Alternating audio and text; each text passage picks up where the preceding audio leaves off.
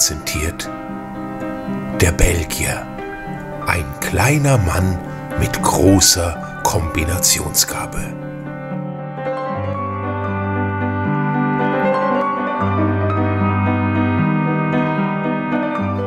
Kein Grund zur Beunruhigung, Hastings. Nur ein verstauchter Knöchel, das ist Sie alles. sollten ihn aber untersuchen lassen. Das Vergnügen, in Ihrer Gesellschaft zu sein, lässt den Schmerz bereits vergehen. Pardon, das ist Captain Hastings. Hastings, stellen Sie sich vor, das Aus auf die Landzunge dort drüben gehört Mademoiselle Buckley. Tatsächlich. Es heißt Endhaus. Ich liebe es, aber es wird über kurz oder lang verfallen. Oh, das ist traurig. Ein beachtliches Anwesen. Leben Sie dort ganz allein? Ich bin viel unterwegs. Und wenn ich hier bin, geht es meistens zu wie in einem Taubenschlag. Freunde kommen und gehen. Ich habe gerade versucht, Sie mir in diesem dunklen, mysteriösen Haus allein mit einem Familiengespenst vorzustellen. Wenn wirklich ein Geist existiert, dann muss er hier sein, um mich zu beschützen. Ich bin dem Tod dreimal entwischt, allein in den letzten drei Tagen. Dem Tod entwischt? Es waren nur Unfälle, wissen Sie? Ah, Verflixte Bienen. Ich hasse es, wenn sie einem am Gesicht vorbeifliegen. Ist Commander Challenger das, was Sie einen prima Kerl nennen würden? Ja, würde ich sagen. Voller Kopfsprung. Hat er äh, sachte Gefühle für Sie? Was meinen Sie, Hastings? Mein Gott, Poirot, woher soll ich das wissen? Nun, ich, äh, Der Hut gehört Miss Buckley, oder? ja, wir bringen ihn ihr nach Hause. Eine gute Gelegenheit, die charmante Mademoiselle Nick wiederzusehen. Wissen Sie was? Ich glaube, Sie haben sich in sie verliebt. Oh, no, no, no, no, no, no. Sie sind völlig auf die Oldstraße, mon ami. Die junge Dame ist wirklich sehr charmant, ja. Aber mich interessiert nur ihr Hut. Und was ist an diesem Hut so interessant? Da ist ein Loch drin. Ja, in der Tat. Waren Sie das? Hastings, haben Sie bemerkt, wie Mademoiselle Nick zuckte, als ein Biene vorbeiflog? Ein Biene fliegt vorbei und der Hut hat ein Loch? Eine Biene kann das nicht gewesen sein, oder?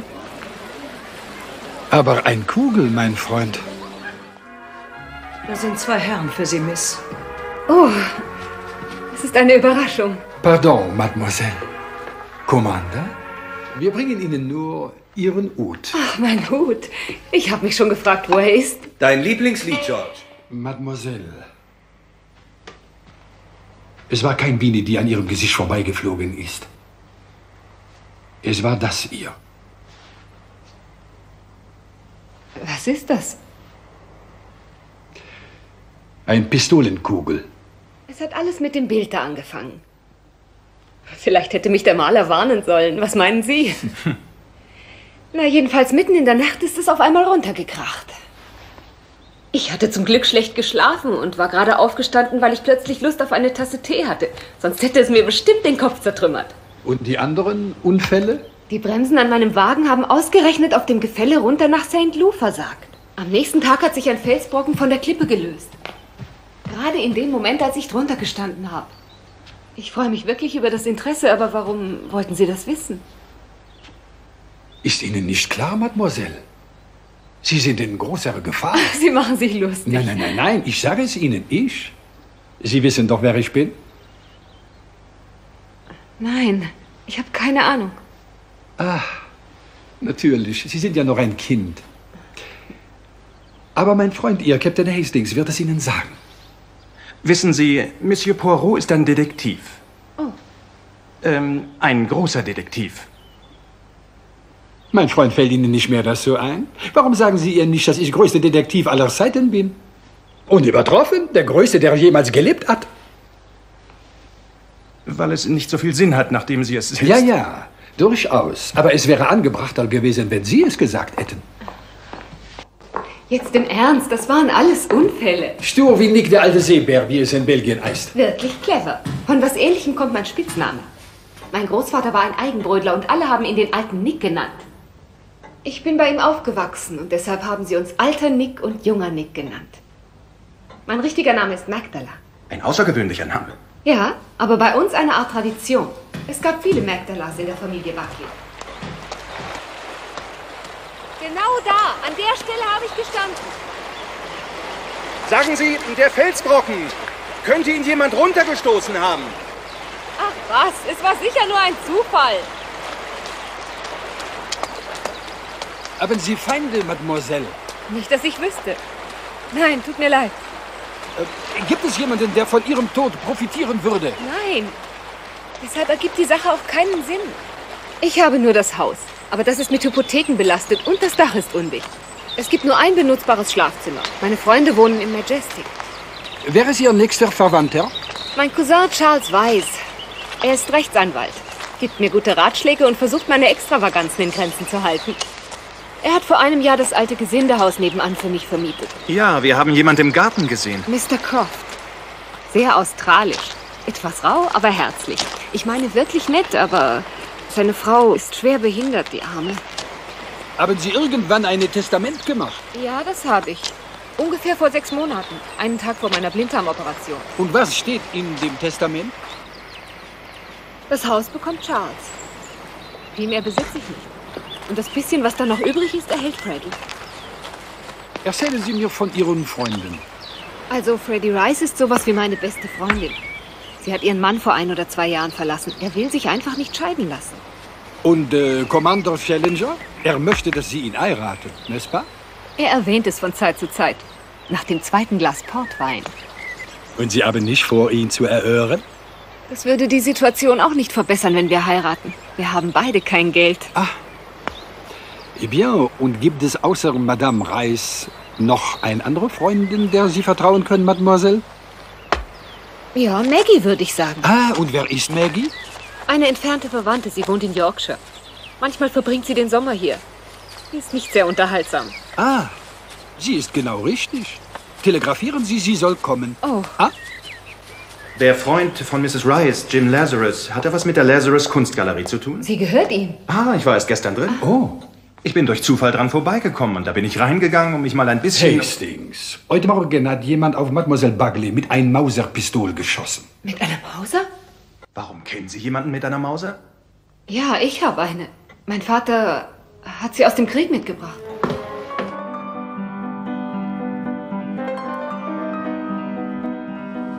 Diese kleine versteckte Hinweise. Ich liebe es, wenn sie auftauchen. Sie weisen der Weg. Noch eins. Braves Hündchen. Schön kauen, mein Schätzchen. Ja. Alles schön und gut, Poirot, aber es ist völlig unmöglich. Wir versuchen, einen Mörder zu finden, bevor er das Verbrechen begangen hat. Gut gesagt, Hastings. Ich meine, wo sollen wir anfangen? Mir gefallen Ihre Freunde nicht besonders. Außer Commander Challenger natürlich. Der hat ganz offensichtlich Format. Wissen Sie, Hastings, Sie haben eine außerordentliche Wirkung auf mich. Ach ja? Ja, Sie haben eine so sichere Nase in eine falsche Richtung zu gehen, dass ich sofort anfange, dem Kommando zu misstrauen. Wer ist da? Ich bin es, Poirot. Die Kanzlei ist nicht geöffnet. Ah, mais oui, aber die Haustür war nicht verschlossen. Sind Sie Monsieur Weiss? Ja. Nett von Ihnen, mich am Wochenende zu empfangen. Hercule Poirot. Poirot. Poirot. Wo bin ich hier nur gelandet? Können Sie mir sagen, Monsieur Weiss, wenn es Ihre Zeit erlaubt, ich habe selbstverständlich Ihre Cousine gegenüber nichts davon erwähnt. Gibt es eine Chance, dass das Endaus auf den Markt kommt? Oh nein. Miss Buckley hängt viel zu sehr an dem Anwesen. Sie würde Endhaus nie verkaufen. Der Preis wäre nicht entscheidend. Ich, ähm, ich bin ernsthaft äh, auf der Suche nach so einem Besitztum. Irgendjemand muss hier sein. Hallo?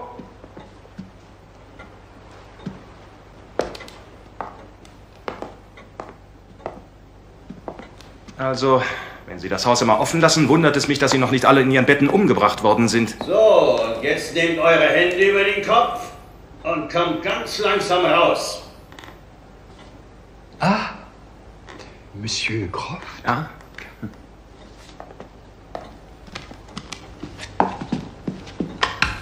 Keinen Schritt weiter. Nein, nein, nicht doch, mein Freund. Der unvergleichliche, weltweit gefeierte Detektiv, Mr. Hercule Poirot. Er kommt, um ein wenig mit dir zu plaudern. Wie aufregend. Ich weiß überhaupt nicht, was ich dazu sagen soll. Enchanté, Madame. Und Captain Hastings, der Partner von Mr. Poirot. Oh, ich habe auch einiges über Sie gelesen, Captain. Oh, danke. Sie sind Freunde von Miss Buckley. Oh, ist sie nicht nett? Ein wirklich reizendes Kind. Nicht besonders beliebt in der Nachbarschaft, habe ich gehört, aber kein Wunder in diesen hochnäsigen englischen Badeorten, nicht wahr? Dieser knopfäugige Cousin von ihr hat nicht die geringste Chance, sie zum Hierbleiben zu überreden. Er lernt sie wie ein Vogel durch die Luft zu fliegen. Ah, Monsieur Charles Weiss ist verliebt in unsere kleine Freundin. Er ist verrückt nach ihr, aber sie will nichts Nicht von ihm. tratschen, Millie. Ich habe meine Gründe, an diesem Mädchen interessiert zu sein. Äh, Wie ist es, Mr. Poirot? Möchten Sie ein paar Schnappschüsse aus Australien sehen? Nun, äh, Gut. Der Erfinder von dem Fotoapparat hat einiges auf die Kerben, als Mon ami. Nette Leute. Typische Australier. Ich weiß nicht. Diese Kui-Schreierei. Diese Beharrlichkeit, uns 5000 Fotos zu zeigen. Ich fahre nur schnell zum Bahnhof und hole Maggie. Krankenschwester und Beschützerin, herbeordert aus dem tiefsten Yorkshire. Bon. Das beruhigt mich ein wenig. Aber Sie täuschen sich in Maggie. Sie ist dumm wie die Nacht. Ein herzensgutes Ding, aber völlig humorlos. Sie hat überhaupt keinen Sinn für Spaß. Es geht ja auch nicht um Spaß, Mademoiselle. Lächeln Sie, Monsieur Poirot. Oh, Sie sind es nur. Mademoiselle, ich bin untröstlich. Entschuldigen Sie, so war es nicht gemeint. Vielen Dank. Haben Sie gerufen, Miss? Ist schon in Ordnung, Ellen. Ich habe selbst geöffnet. Sie haben mein Kleid noch immer nicht vorbeigebracht, nicht wahr? Nein, Miss. Deshalb war ich so unhöflich. Ich dachte, die bringen mir endlich mein Kleid zurück. Sie haben es mir hoch und heilig versprochen. Ja, es wird mich wärmen, wenn wir uns das Feuerwerk ansehen. Ich habe dich noch nie in einem schwarzen Kleid gesehen, Nick. Ich dachte, du hast schwarz. Das tue ich auch. Die Reinigung hat das Kleid nicht vorbeigebracht, das ich anziehen wollte. Dieser Krach. Sie sollten die Schnellboote im Hafen verbieten. Das ist ein Wasserflugzeug, kein Schnellboot. Ich finde diese Piloten absolut unwiderstehlich. Schade um Michael Seaton. Vielleicht hat er sich ja gerettet. Eine verrückte Familie. Dieser Onkel von ihm, Sir Matthew Seaton, war völlig hinüber. Er ist vor einer Woche gestorben. War das nicht der Millionär mit den Vogelschutzgebieten? Ja, nachdem ihm seine Frau weggelaufen ist, hat er sich mit anderen Vögeln getröstet. Es gibt keinen Grund anzunehmen, dass Michael Seaton bereits tot ist. Ach, du hast ihn ja gekannt, entschuldige. Wir haben ihn letztes Jahr kennengelernt. Ein wunderbarer Mann, stimmt's, Freddy? Mich darfst du nicht fragen. Es war deine Eroberung, nicht meine. Haben Sie auch Flugerfahrung, Captain Hastings? Nun, eigentlich. War das nicht das Telefon? Warten Sie nicht auf mich, ich esse kein Dessert. Und die Gäste für das Feuerwerk müssen auch jeden Augenblick hier eintreffen. Der Belgier. Ein kleiner Mann mit großer Kombinationsgabe.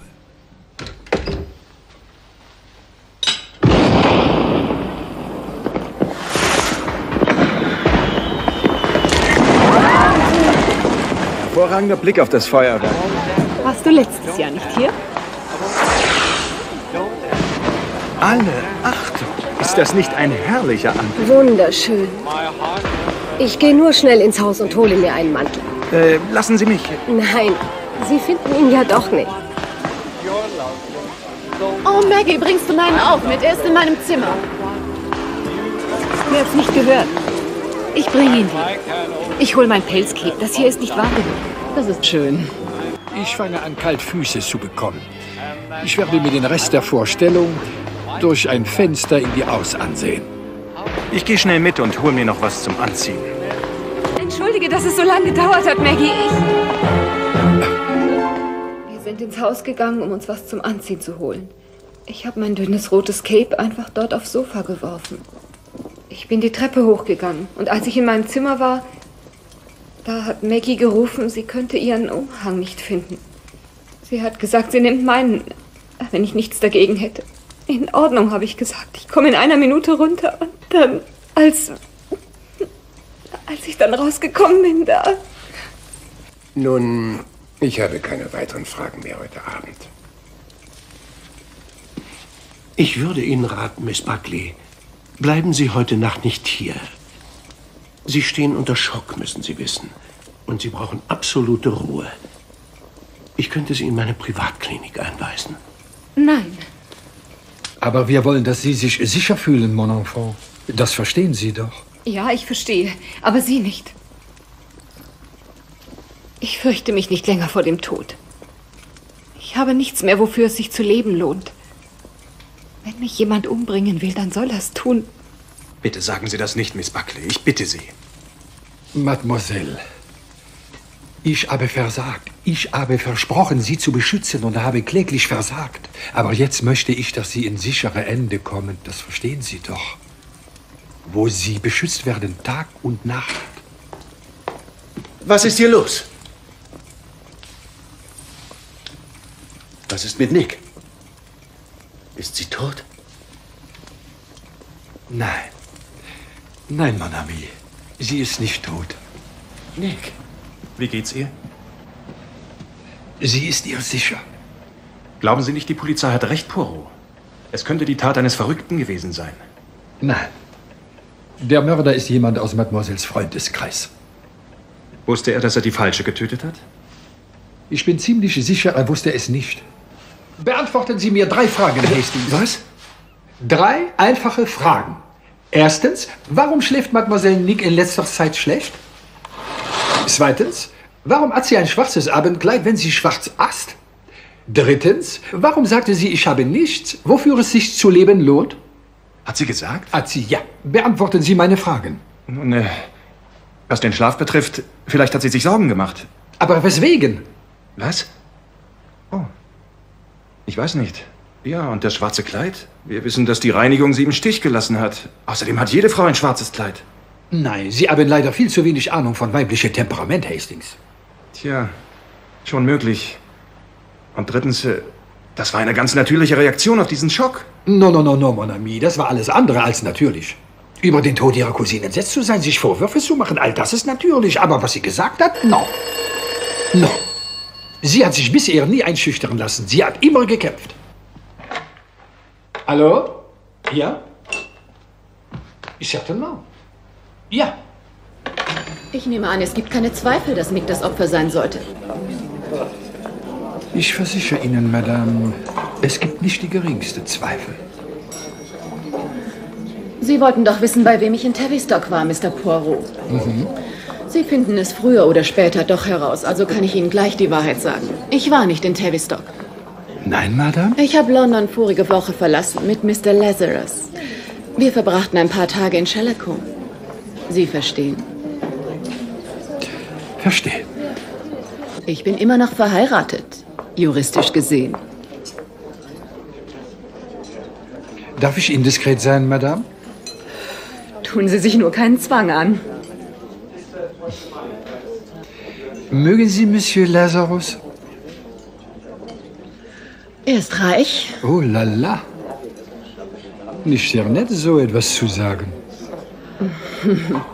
mir ist es lieber, Sie hören es von mir, als ich höre es von Ihnen. Sie sind sehr, sehr klug, Madame. Wollen Sie mir ein Diplom überreichen? Ich besorge jetzt ein paar Blümchen und bringe sie Nick. Das ist sehr liebenswürdig von Ihnen. Verrückte Geschichte da oben in dem Haus. Ja. Sie sagen es, Chief Inspector. Glauben Sie, die Unfälle haben auch damit zu tun? Daran gibt es keinen Zweifel. Hm, könnte sein. Tja, würde helfen, wenn wir die Waffe hätten. Liegt wahrscheinlich auf dem Grund des Meeres, wenn der Mörder ein bisschen Verstand hat. Hm, meistens haben sie keinen. Ich muss jetzt gehen. Ich treffe die Eltern des toten Mädchens. Sie sind aus Yorkshire hergekommen. Lassen Sie es mich wissen, wenn Sie neue Ideen haben. Das ist doch selbstverständlich, Chief Inspector. Eine äußerst raffinierte Schachzug von Madame Reis, uns den Reichtum von Monsieur Lazarus unterzujubeln, ja? Ja, ich muss gestehen, es ist mir ziemlich aufgestoßen. Ach, mon ami. Sie haben die richtige Reaktion immer an falsche Platz.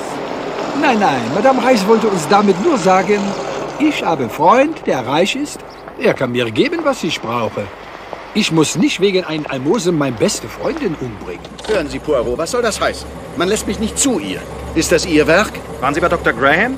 Er hat mir den üblichen Unsinn erzählt. Es ginge ihr den Umständen entsprechend. Sie hat eine ruhige Nacht. Denken Sie, ich kenne diese Tricks nicht? Ein Onkel von mir ist Arzt. Ich glaube, da stecken Sie dahinter, Poirot. Sie haben recht, mon ami. Ich kann Ihnen nichts vormachen. Aber wenn wir einen Besucher zulassen, können wir es den anderen schlecht verweigern. Das verstehen Sie doch. Sicher verstehe ich das. Alle oder keiner wollen Sie sagen. Wir wollen es nicht weiter ausführen. Im Moment ist allergrößte Vorsicht geboten.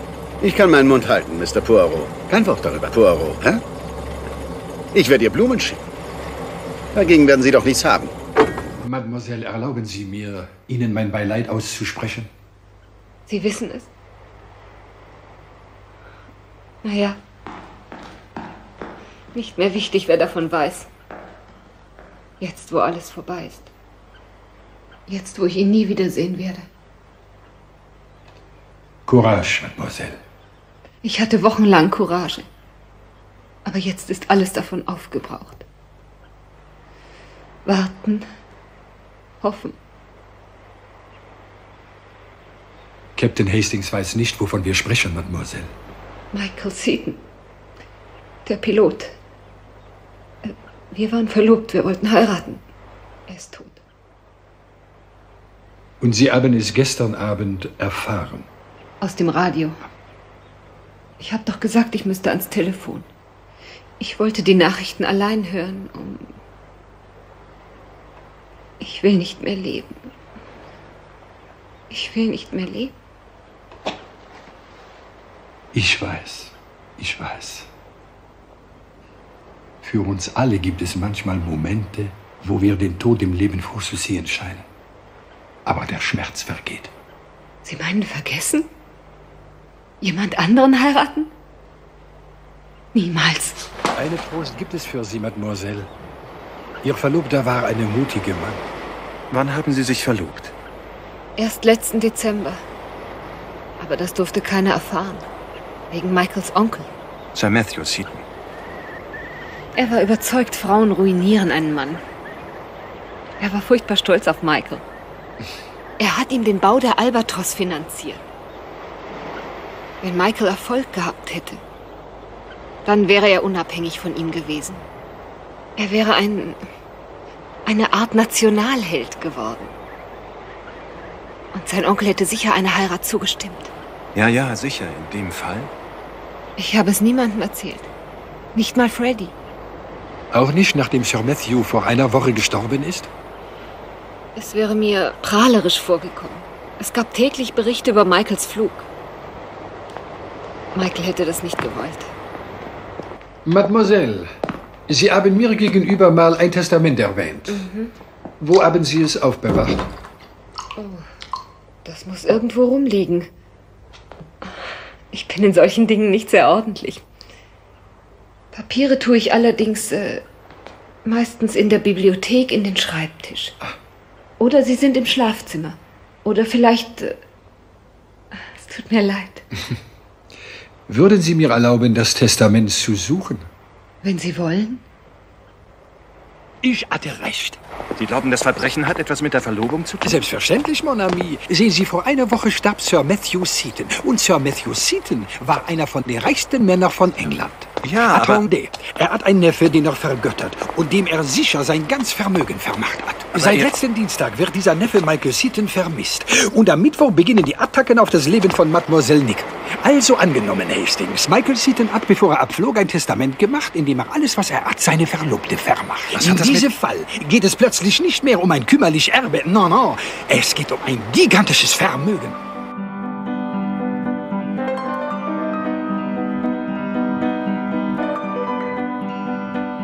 Was haben Sie vor, Hastings? Was?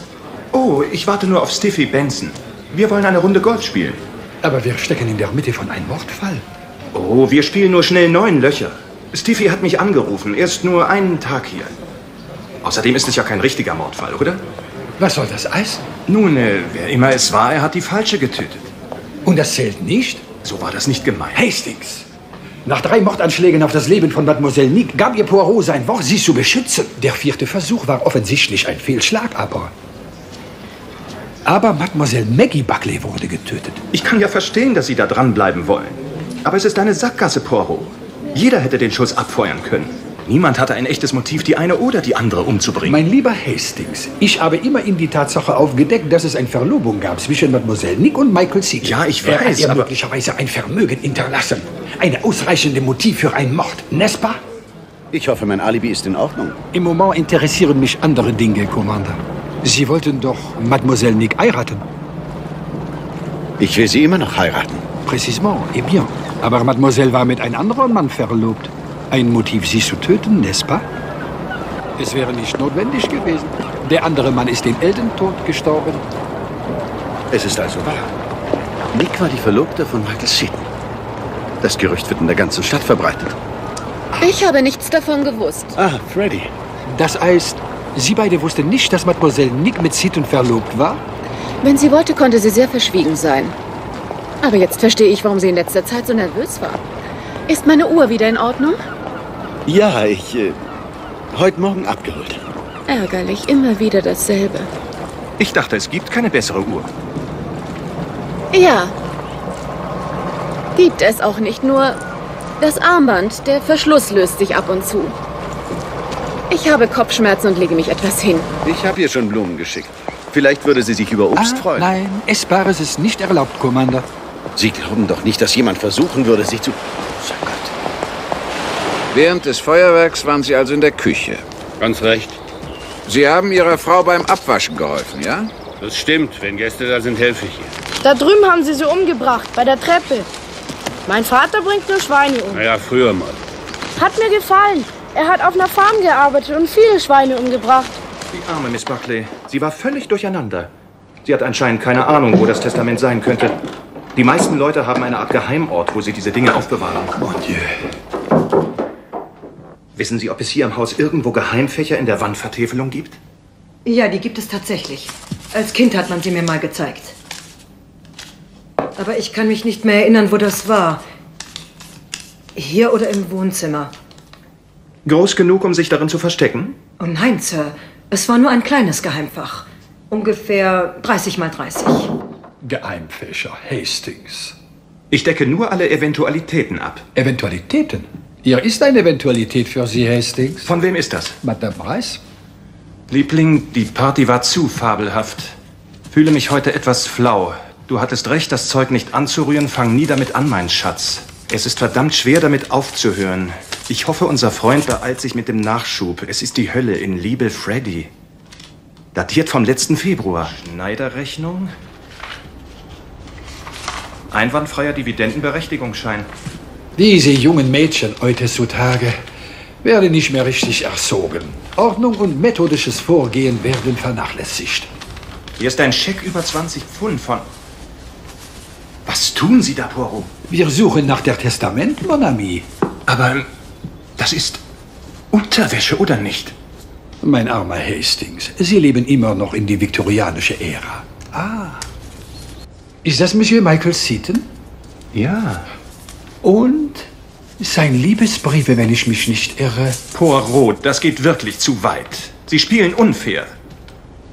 Eine Mörderjagd, mein lieber Hastings, ist kein Spiel. Ja, es ist gut, wenn Sie sie auch lesen. Zwei Paar Augen sind nicht schlimmer als ein Paar. Das ist nicht mein Stil, Poirot. 3. Januar. Liebling. Es ist fast zu schön, um wahr zu sein. Die Vorstellung, dass du mich wirklich liebst. Oh, nicht doch. Und am 2. März? Mein Herz, es ist ziemlich scheußlich, diese ewige Versteckspiel, ich weiß. Aber Onkel Matthew hat wirklich nicht mehr alle Tassen im Schrank. Hören Sie sich das mal an, Poirot. Liebling, ich fliege morgen, bin wahnsinnig aufgeregt. Jemand meinte, ich sollte ein Testament machen. Also habe ich eines aufgesetzt und gleich an den alten Whitfield geschickt. Ein paar Leute haben es bezeugt. Mir fiel gerade noch rechtzeitig ein, dass du ja Magdala heißt. Gut, hä? Sie hatten recht, es gibt ein Testament. Ich kann nicht. Sie haben es nicht zufällig in die geheime Vertäfelung getan? Die geheime was? Ellen sagt, es gibt irgendwo ein Geheimfach in der Wandtäfelung. Unsinn. Ich habe noch nie davon gehört. Ellen hat das gesagt? Mais oui. Aber wir schweifen vom Thema ab, Mademoiselle. Der letzte Wille, das Testament von Magdala Buckley. War es ein Testamentsformular? Nein, ein Briefbogen.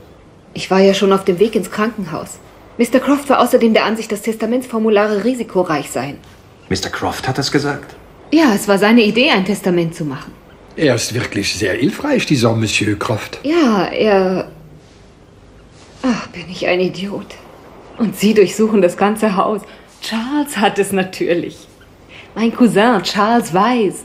Ah. Ja, Mr. Croft meinte, ein Rechtsanwalt sollte es in Verwahrung nehmen. Wir haben es also in einen Umschlag gesteckt und an ihn abgeschickt. Charles Weiß hat es. Wenn Sie es sehen wollen, dann zeigt es Ihnen. Aber nicht ohne ein Vollmacht von Ihnen. Hoffe ich, Mademoiselle.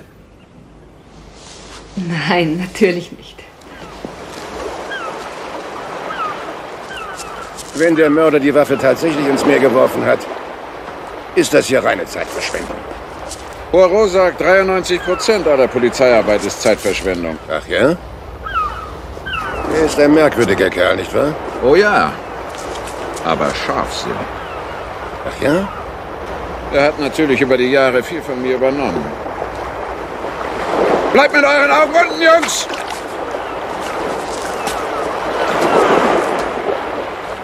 Tut mir leid. Ich habe nie ein Testament erhalten und aufbewahrt. Sie hat es auf ein gewöhnliches Blatt Papier geschrieben und an Sie abgeschickt. Nein. Jetzt hören Sie mal, Mr. Weiss. Ich habe nie etwas in dieser Art erhalten, Captain Hastings. Äh, Das macht sechs Pence.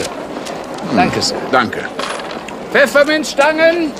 Köstliche Pfefferminzstangen! Ah, da sind Sie ja. Ich habe Informationen über die Lazarus-Galerie erhalten, die Sie vielleicht interessieren. Lassen Sie hören, Chief Inspektor. Sie steht kurz vor der Pleite, aufgrund des Preissturzes bei Bilder. Ebenso bei Antiquitäten. Sie haben letztes Jahr die Geschäftsräume erweitert und sich dabei übernommen. Danke, Chief Inspektor. Das ist ein gutes Motiv, Poirot. Ich habe sie nur gefragt, ob sie nicht ein Testament machen will. Mehr aus Spaß, nur einfach so. Und? Dann hat sie sich hingesetzt und eines geschrieben. Wer hat es bezeugt? Ähm, das Dienstmädchen und ihr Mann.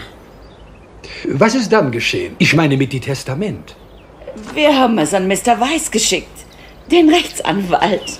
Sind Sie sicher, dass es abgeschickt worden ist? Ich habe es selbst eingeworfen in den Briefkasten draußen am Tor. Er ist in Ordnung. Ich frage mich, wer von den beiden lügt. Monsieur Bert Croft oder Monsieur Charles Weiss? Ich sehe keinen Grund für Monsieur Croft zu lügen. Das Testament zu unterschlagen bringt ihm keinen Vorteil ein. Offenbar ist Dr. McAllister das, was man einen Frauendoktor nennt. Eine Gynäkologe. Nein. Frau scheint in diesem Fall ein Überbegriff für neurotisch zu sein. Wer ist dieser Dr. McAllister? Miss Lemon war gerade dabei, es uns zu sagen. Ich habe seine Praxis in der Harley Street aufgesucht. Er hat dort eine Privatklinik und außerdem eine in Paris. Mir gefällt sie nicht. Irgendwie habe ich mich da nicht wohlgefühlt. Wirkt es seriös? Naja, zumindest sehr gepflegt. Jedenfalls ähm, habe ich ihm erzählt, dass ich schlecht schlafe und unter Depressionen leide. Oh. Das war nur ein Trick, Captain Hastings. Ah, ein Trick, ich verstehe. Ich habe mit einer der Krankenschwestern gesprochen und sie sagte, Ihr Commander Challenger kommt alle zehn Tage regelmäßig einmal in der Klinik vorbei. Ah ja, tatsächlich. Miss Lemon, das war ausgezeichnet. Ja, wirklich. Wer ist Dr. McAllister? Oh, Hastings. Er ist der Onkel von Commander Challenger. Der Onkel, von dem er uns erzählt hat. Richtig. Wissen Sie, wen ich dort gesehen habe? Lady Lowestoft war da. Und Mrs. Bindorf. Ach, wirklich? Keine von ihnen war länger beim Doktor als fünf Minuten. Nein, nein, nein, Hastings, Sie kommen nicht mit. Sie werden jetzt diesen Monsieur Whitfield aufsuchen. Wer ist Mr. Whitfield? Der Anwalt, den Michael Seaton in seinem Brief erwähnt hat. Und der sein Testament hat. Präzisement. Ich will, dass Sie feststellen, ob das stimmt. Und während die Testament begünstigt wird. Angenommen, die Mäuse gehen an Miss Buckley. Er würde es mir nie sagen. Sie müssen Ihre Überredungskunst anwenden, Hastings. Mäuse?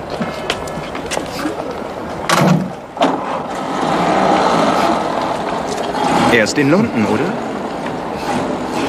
In sieben Minuten fährt ein Zug nach Plymouth und von dort nehmen Sie der nächste Zug nach London. Würden Sie bitte für mich eine Verbindung erstellen? Danke.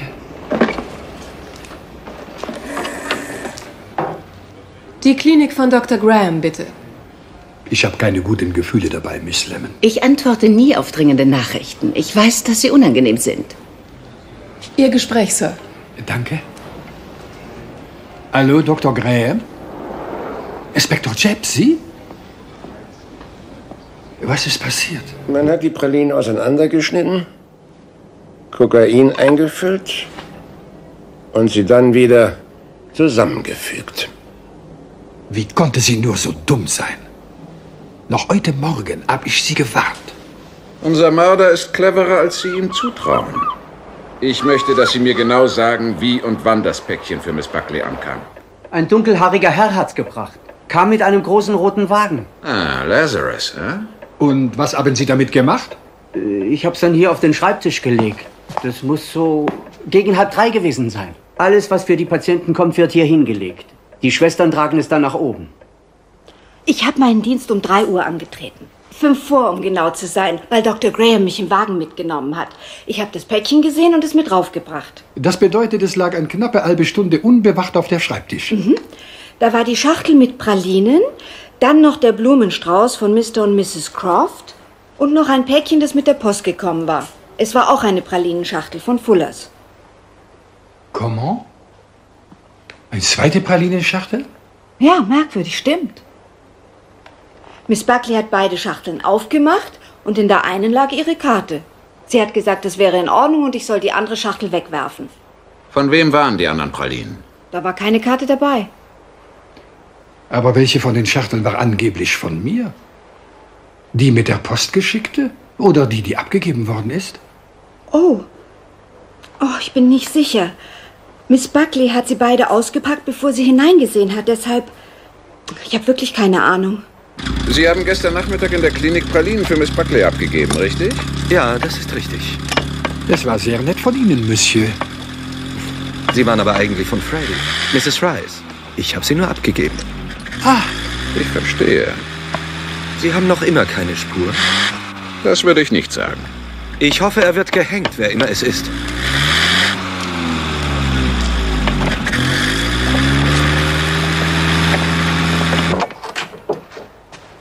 Sie empfängt heute niemanden, hat sie gesagt. Nun, dann sagen Sie ihr das. Nein, nein, nein. Bitte, Mademoiselle, sagen Sie Madame Reiss, ich bin ein Freund, Hercule Poirot. Sie sagt, Sie möchten bitte wieder gehen. Entschuldigen Sie bitte.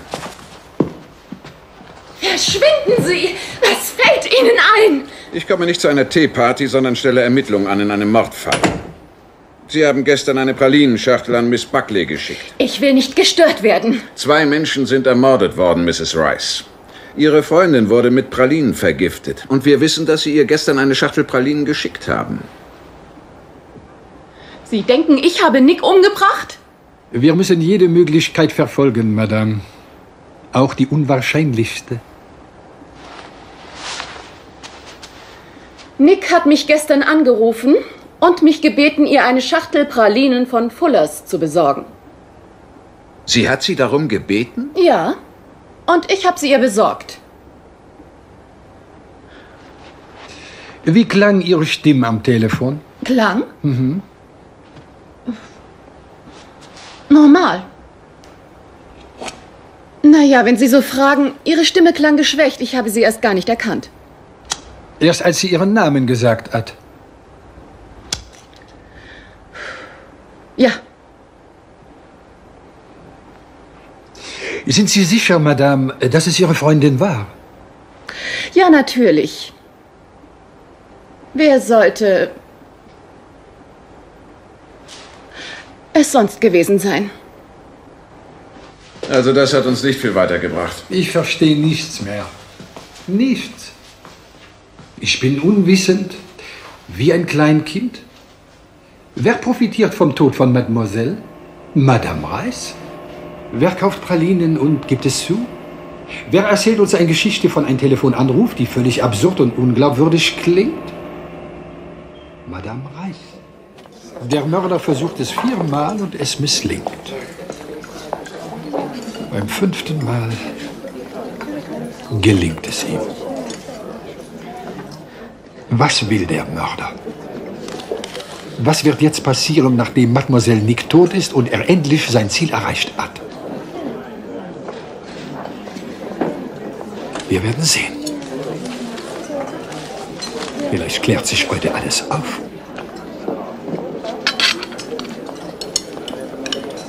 Ich kann diese Eier nicht essen.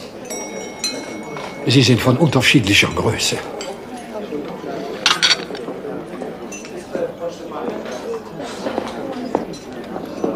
Mr. Poirot? Ja? Ein Anruf für Sie, Sir. Im Foyer. Wer ist es? Ein Mr. Charles Wise. Ah, Monsieur Charles Weiss hat gerade angerufen. Er hat heute Morgen mit der Post ein Testament erhalten, unterzeichnet von Miss Buckley, datiert vom 25. Februar. Es taucht nach sechs Monaten plötzlich in der Post auf? Genau zum richtigen Zeitpunkt, Vespa. Aber hinterlässt sie ihr ganzes Vermögen Mrs. Rice? Monsieur Weiss ist zu korrekt, um sich über den Inhalt zu äußern. Aber es scheint sich um das fragliche Testament zu handeln. Es ist von Ellen Wilson und ihrem Ehemann besäugt worden. Und wieder führt die Spur zu Frederica Rice. Ist ein hübscher Vorname, Frederica. Mary. Hübscher als ihr Freunde sie nennen. Freddy. Nicht sehr schmeichelhaft für eine junge Dame. Es gibt nicht sehr viele Abkürzungen für Frederica. Anders als bei Elizabeth, wo es Dutzende gibt. Eliza, Liz, Betty, Betsy, Bess. Danke, Miss Lemme, sehr informativ. Oder Margaret, da gibt es auch viele. Maggie, Madge, Margot, Peggy. Margie, Meg, Maggie. Ah, da sind Sie, Poirot. Ich habe Sie überall gesucht. Wie ist Ihr Name, Chief Inspector? Name? Welcher Name? Ihr Vorname? James. James Jebb. Jim. Jimmy Chap. Jamie Jebb. Chief Inspector Jebb und ich müssen Sie jetzt leider verlassen.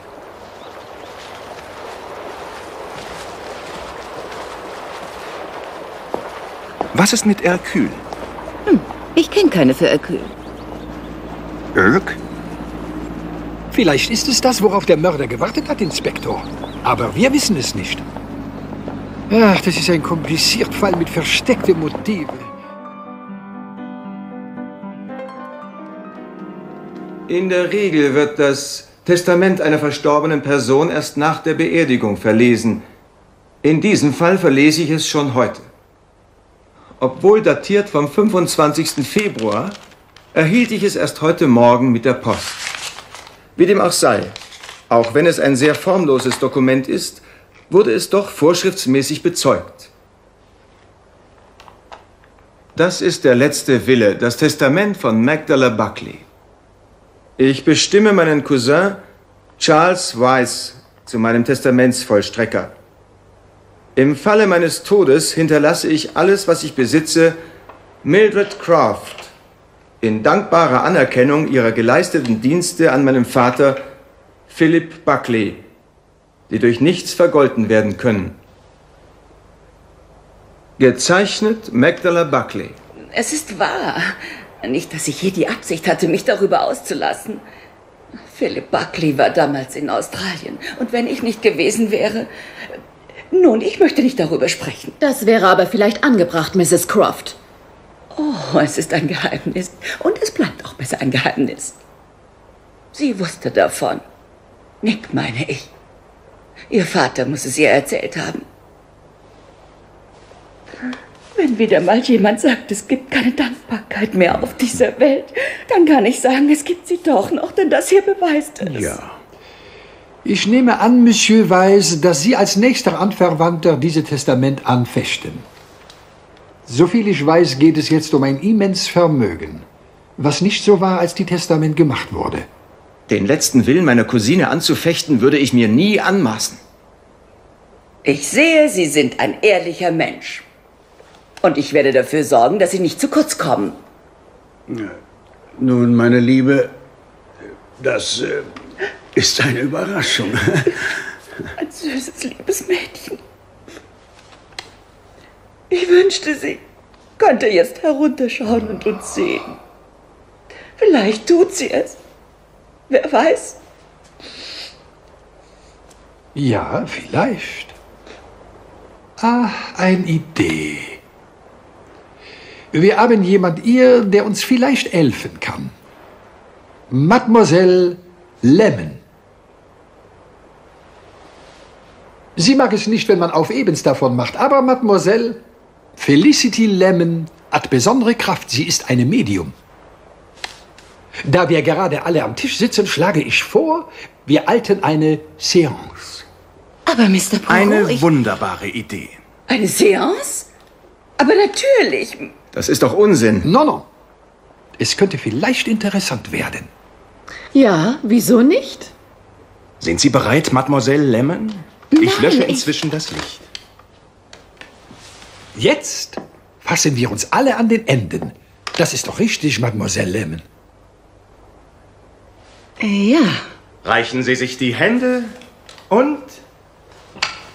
Ich habe so etwas noch nie gemacht, aber... Darf ich Sie jetzt um Ruhe bitten? Es muss absolute Ruhe herrschen. Während Mademoiselle Lemon sich in Trance versetzt. Wenn Sie der Ansicht Ruhe, sind, bitte. dass...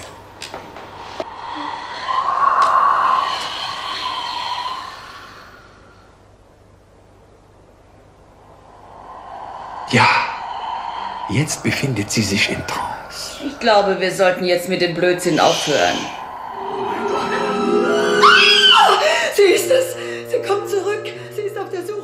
Wer ist verantwortlich für dieses Durcheinander? Das war ich. Ich habe Mademoiselle Nick dazu überredet, die Tote zu spielen. Ich danke Ihnen, Mrs. Croft, für das, was Sie für meinen Vater getan haben. Aber Sie werden nicht in den Genuss des Testaments kommen, das Sie erst kürzlich gefälscht haben. Es war nur ein Scherz. Ein kleiner Scherz. Sehr komisch, wirklich sehr komisch. Es sollte nur ein Scherz sein, wirklich. Das Testament ist eine Fälschung? Oh ja. Und eine sehr gute dazu. Sie haben nichts in der Hand gegen mich. Nichts? Sie fälschen mein Testament.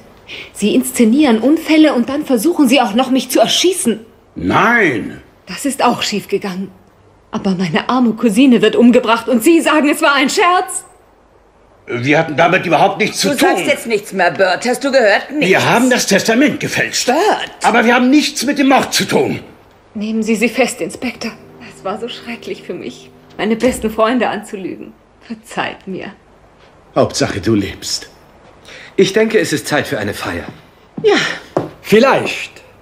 Oder vielleicht ist es Zeit für die Wahrheit. Chief Inspector Jebb. Ich war schon hier, bevor Sie gekommen sind, und wie mit Mr. Poro abgesprochen, habe ich mich hinter einem Paravent in der Bibliothek versteckt. Mrs. Rice? Ja, Wären Sie so freundlich und gehen zu Ihrem Mantel und sehen nach, was in der Tasche ist. da ist nichts drin. Außer meinen Handschuhen. Sehen Sie nach, Mrs. Rice. Handschuhe. Maggie Buckley wurde getötet, wie es geplant war. Aber zweifellos war es doch Mademoiselle Nick, die umgebracht werden sollte, oder? Aber das ergab keinen Sinn. Mademoiselle Nick liebt ihr aus, äh? Das ist doch so, Mademoiselle Nick. Aber sie ist verzweifelt, weil sie nicht das Geld hat, um es zu behalten. Was für ein großes Glück, denkt sie sich, als sie den reichen jungen Flieger Michael Seaton in Le Touquet kennenlernt. Aber er verliebt sich nicht in sie. Er verliebt sich in eine andere junge Frau. Das ist nicht wahr. Eine unglaubliche Plan formt sich nun in hübsche Kopf von unserer junge Dame. Doch plötzlich hatte ich die Lösung. Ich erinnerte mich an eine Situation, als Captain Hastings und Miss Lemon versucht haben, Abkürzungen für Margaret zu finden. Maggie, Margot, Madge, etc. Ja. Da habe ich mir natürlich die Frage gestellt, wie war der richtige Name von Maggie Buckley? Und coup, es dämmerte mir. Es gab zwei Magdala Buckleys. Oh mein Gott. Das ist Unsinn, Freddy. Das, das ist eine Unterstellung. Charles, du bist mein Anwalt. Es gab mehrere Magdalas in der Familie, aber Michael Seaton wusste nicht, dass Nick ebenfalls Magdala hieß. Er kannte sie nur als Nick. Er schreibt einfach in sein Testament, ich hinterlasse alles meiner Verlobten Magdala Buckley. Das ist nicht wahr. Ich schwör's, kein Wort davon ist wahr. Ich bin mir absolut sicher. Die Person, die Mademoiselle Maggie erschossen hat, ist Mademoiselle Nick. Sind Sie verrückt? Wieso sollte ich sie umbringen? Um das Geld zu erben, das ihr Michael Seaton hinterlassen hat. Denn mit ihr hatte er sich heimlich verlobt, nicht mit Ihnen. Er hatte sich in Sie verliebt. Nicht in Sie. Sie mieser kleiner Mann. Sie verstehen überhaupt nichts. Sie wäre natürlich nie damit durchgekommen. Mein lieber Chief Inspector, sie ist beinahe damit durchgekommen. Selbst Poirot wurde getäuscht. Der Mord an Maggie Buckley war leicht. Aber mit den vorgetäuschten Mordanschlägen auf sich selbst fortzufahren, war äußerst raffiniert. Was hat sie denn darauf gebracht? Es waren die Liebesbriefe von Michael Seaton. Sehen Sie, Mademoiselle Nick, stahl nur die Briefe, in denen der Name Maggie nicht vorkam. Aber einer dieser Briefe war doch etwas seltsam. Am 27. Februar hat sich Mademoiselle Nick einer Blinddarmoperation unterzogen. Aber in dem Brief vom 2. März von Michael Seaton wird das nicht einmal erwähnt. Ein seltsames Mädchen. Sie dachte, sie schafft es allein. Ich fürchte, die Sache wird sehr unangenehm. Aber ich werde mich natürlich um Sie kümmern und Ihre Verteidigung übernehmen. Ich glaube, das wird nicht nötig sein. Wenn ich mich nicht täusche, wird die Armbanduhr, die Mademoiselle Nick mitnahm, eine Gerichtsverhandlung überflüssig machen. Die Uhr ist doch, soviel ich weiß, ein Versteck für Kokain. Was? Was meinen Sie? Glauben Sie denn, ich bin auf Ihre Tour, den netten Kerl zu spielen, reingefallen? Sie haben einen gut florierenden Drogenhandel aufgesogen, nicht wahr, Commander? Sie und Ihr Onkel, der Arzt. Nein, hören Sie. Ich. Was halten Sie vom illegalen Drogenhandel, Chief Inspector? Ich halte es für ein ganz übles Verbrechen. Ich muss Sie jetzt bitten, mich zu begleiten, Commander. Nicht zu fassen. Kokain in Armbanduhren. Mhm. Deshalb wollte sie ihre Uhr auch mitnehmen, n'est-ce pas? Oh, das ist ja furchtbar. Ja, das ist es, Miss Lemon. Ist doch sehr befriedigend, nicht wahr, Chief Inspector, wenn ein Fall am Ende restlos aufgeklärt ist. Ja, das ist doch für Sie kein ungewöhnliches Gefühl. Naja. Ah, Das hier ist für Sie, Chief Inspector. Oh, vielen Dank. Nein, für Sie nicht, Mr. Poirot. Ich habe in einem Artikel gelesen, dass Eis extrem schlecht für die kleinen grauen Zellen ist. Dann nehme ich zwei. Ich habe sowieso keine mehr. die beiden sind sehr amüsant, nicht wahr, Chief Inspector? Die Seeluft scheint Ihnen wirklich sehr gut zu bekommen. Ich denke, ich fahre allein nach London zurück und lasse die beiden ihr.